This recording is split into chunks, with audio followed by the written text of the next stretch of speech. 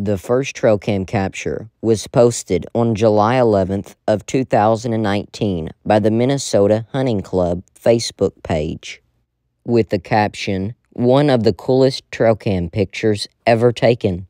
And I can't say that I disagree, as the image depicts a rare sight of a buck next to a field watching as a firework is shot off in the distance as a 4th of July celebration. The buck even seems to admire the bright colors in the distance. 10 seconds to identify this mystery animal starting now.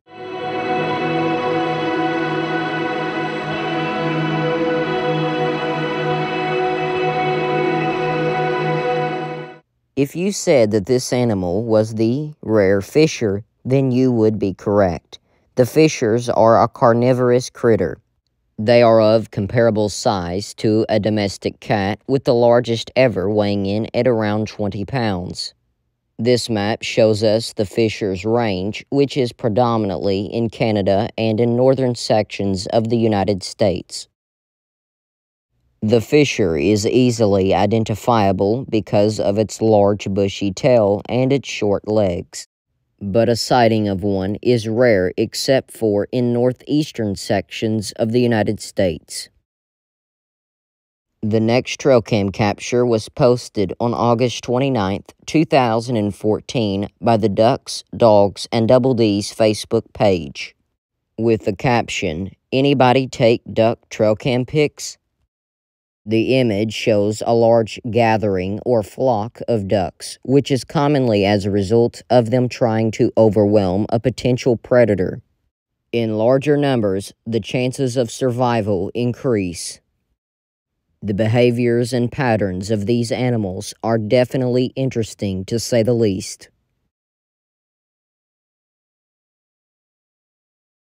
This next trail cam capture was posted on September 21st of 2017 by the Bucks, Bulls, and Bears Facebook page and depicts something on two legs bipedal. Some have suggested it to be something far less mundane than the regular fauna, but if you look closely, you will notice a very defining characteristic its claws. The claws on whatever this is is definitely a telltale sign that this is merely a bear. And here is a picture of a bear claw, for example. There are definitely similarities, and we know that bears will travel on two feet if their foot is injured.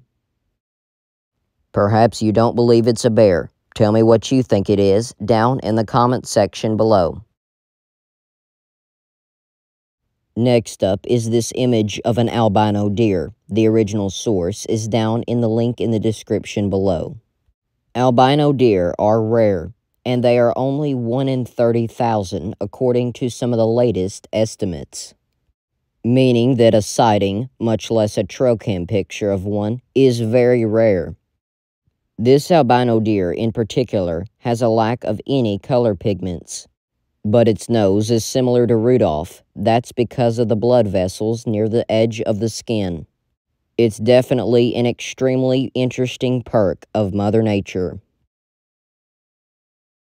This next one was posted on September 11th, 2017 by Nicole Dominic with the Facebook post caption stating, Found on Trailcam, I don't actually believe in them, but this had me convinced that I could possibly be wrong. In the enhanced version of the Trailcam image, we notice a characteristic, a hairy forearm, which could definitely be part of a bear, a black bear in particular, but the forearm is definitely evident. And we also notice what is either part of its shoulder or maybe even part of its head, as if it's bent down. I personally believe the Trailcam photograph to be inconclusive, but let me know what you think it is down in the comments section below. This Trailcam image is from July 18th of 2013 and was taken in the state of Virginia and has been controversial ever since it was posted. Featured on my channel once before, some have suggested that it's an escaped chimpanzee, while others say it's just merely a bear with mange. A characteristic that many have noticed is by far the curved and defined elbow that the unknown creature possesses. And the enhanced version of the trail cam image shows us a better view of the shaggy hair hanging down from its back. And in correspondence to its curved elbow, a curved knee as well. If you can identify this controversial unknown creature, let me know down in the comments section below. The following is a couple of captures from one of our camera traps located at some of our own personal ground. And the clarity and detail of these captures may actually shock you. First up is this image of a coyote looking straight at our camera. Taken on an early brisk morning, the coyote seems to be still drowsy and even has a little bit of a sleepy look to his eyes. The lighting reveals this beautiful coyote perfectly. And in this one, at first glance, there's nothing at all, but watch as a big blue Turkey's head comes into view on the bottom right corner of the screen. It's right next to the camera, but seems oblivious to it. But in this next image, we see what is presumably the same turkey, just a better view of it and at a later time. The turkey appears to be a younger one and possibly this year's hatchings. After exploring some of our area, I discovered what appeared to be a hidden den that was underneath a big root wad. As it comes into view, you will notice just how deep this den goes and how dark it is, but trust me, the video does no justice. And it's conveniently positioned next to a pawpaw fruit patch, and I can tell you that whatever it is has been staying under there during these hot, late summer days and the warmer than average temperatures have been contributing to an unprecedented drought in our area.